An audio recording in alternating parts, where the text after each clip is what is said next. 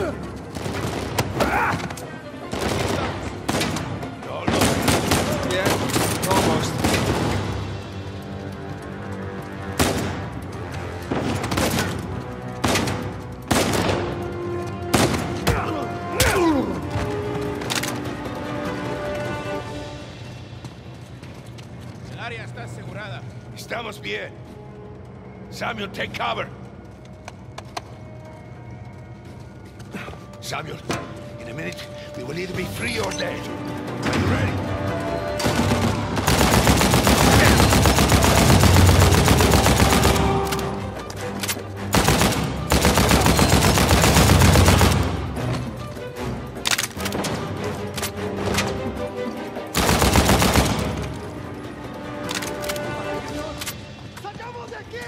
Samuel, stay back!